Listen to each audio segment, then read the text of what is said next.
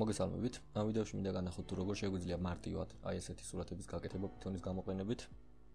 ამისათვის დაგჭირდება პირველ რიგში start-ში ავკრიფოთ cmd და შემდეგ უკვე pip install pillow, რომელიც დაინსტალირებს pillow-ს თუ დაინსტალირებული არ გვაქვს, სულ ეს იყო.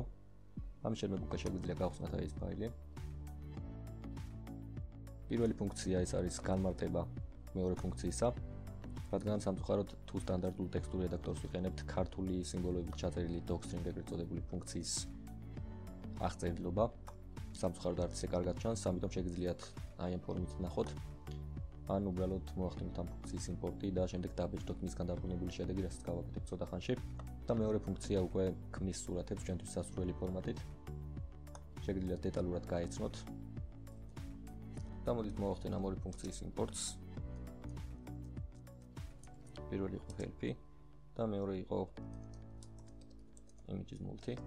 და შემდეგ უკვე დავბეჭდავ პირველი ფუნქციის შედეგს. აფხედავთ უკვე განმარტებას რომელსაც შეგიძლიათ გაეცნოთ. და მოდით უკვე გადავიდეთ მეორე ფუნქციაზე. აკეთებ მეორე ფუნქციის სახელს და პირველ არგუმენტად აქ საჭიროა რომ მიუთითოთ მისამართი სადაც არის ჩვენთვის სასურველი სურათები განთავსებული. ამ შემთხვევაში ეს არის Linux Mint-დან აღებული სურათები. ეს სურათები აუცილებლად იქნება ასევე აღწერილობის ველში. თუმცა რა თქმა უნდა შეგიძლიათ გამოიყენოთ ნებისმიერ თქვენთვის სასურველი სურათი. ამ შემთხვევაში მოდით დავაკოპირებ ამ საქაღალდის links და ჩავსვამ პირველ არგუმენტად. მეორე არგუმენტად უთითებ თუ სად გვინდა რომ შევინახოთ საბოლოო სურათი. ამ შემთხვევაში მიუთითებ ამავე საქაღალდეს, რომელშიც მუშაობთ. შემდეგ არის უკვე მესამე არგუმენტი, რომელიც გვიჩვენებს პიქსელების ზომას. ანუ პატარა სურათებს, რომელიც გვინდა რომ აი აქ დაემატოს, რა გვინდა რომ კონდეს ზომა პიქსელებში. მიუთითებ ამ შემთხვევაში მოდით 1000 პიქსელს. ეს იქნება როგორც სიგრძე ისე სიგანე ამ სურათებისა.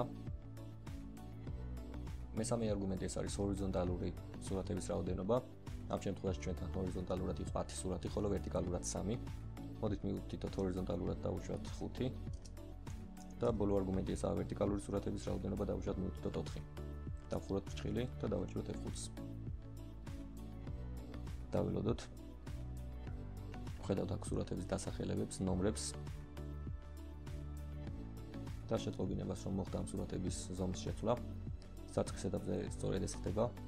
რადგან ეს სურათები საჭიროა რომ იყოს ჩვენ მიერ მითითებული პიქსელების ზომის. და ამის შემდეგ უკვე დასრულდა პროცესი და შედეგად ხედავთ უკვე შედეგს რომელიც არის აი ეს სურათი. როგორც ხედავთ ჰორიზონტალურად ნამდვილად არის 5 სურათი და ვერტიკალურად არის ნამდვილად 4 სურათი რაც სწორედ ისეა როგორც ჩვენ მიუთითეთ. თუ დავკვირდებით ასევე ამ სურათის ზომებს alt enter-ს დავაწვევი და გადავალ დეტალებში.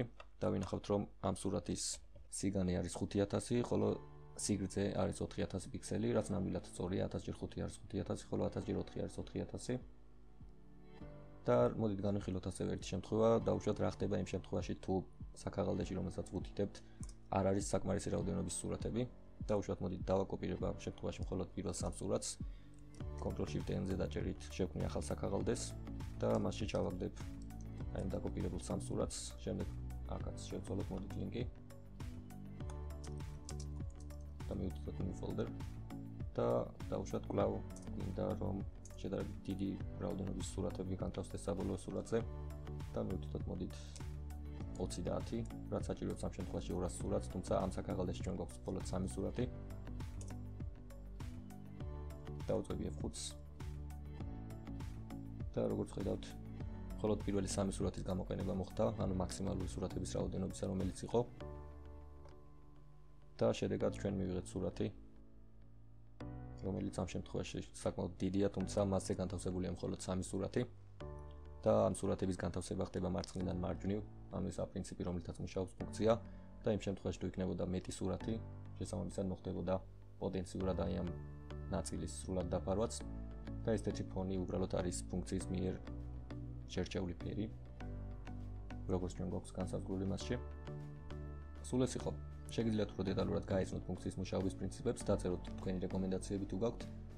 ასევე კითხვები თუ გექნებათ რაიმე ამ თემასთან დაკავშირებით, ახლა კი დაგემშვიდობებით მომავალ შეხვედრამდე.